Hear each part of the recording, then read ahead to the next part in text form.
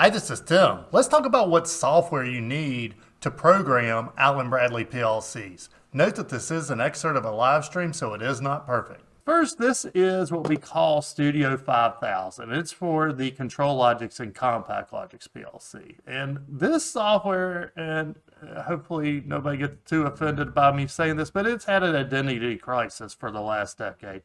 This is what a lot of you consider RS Logix 5000. And then even if we look in the top here, it says Logix Designer.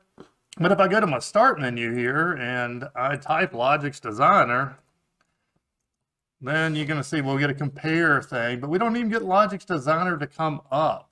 And that's because this is the Studio, oops, Studio 5000. This is that software. So we're going to use this for our ControlLogix and compact CompactLogix PLC. And then we have connected components workbench for the Micro 800. And also I went ahead and removed my activation so I could actually use this just like the free version because I believe this is a great entry level um, method of getting into Allen Bradley PLCs and starting to understand them. And then I also have RS Logix 500. And this is what you would use for your MicroLogix PLCs and your SLC 500 PLCs. So we'll call this kind of our legacy software there are a lot of different softwares even in Allen Bradley that I didn't mention. But the, the major ones that you're going to run into are RS Logix 500 and then Studio 5000 and Connected Components Workbench. So knowing which one you need for which PLC. Ooh, I did miss one thing. Not all versions of a particular PLC software have the same capabilities.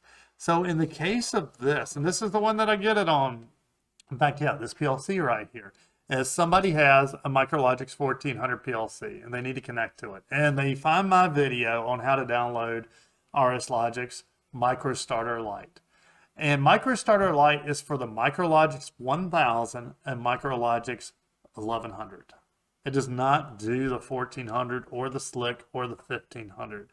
And so make sure you know not only yeah which one you need, but which exact version. Same with this.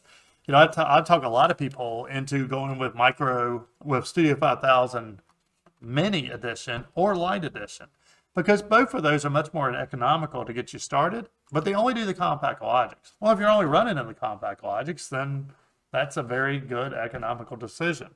Now, just to trip you up really a lot is the Connected Components Workbench does all of the PLCs that are available to it, whether you buy it or not. The biggest thing missing from it is online edits. I think there are a few other things, but uh, the, the free version of it does most of those things. Click here for our free Allen Bradley PLC lessons. Till next time.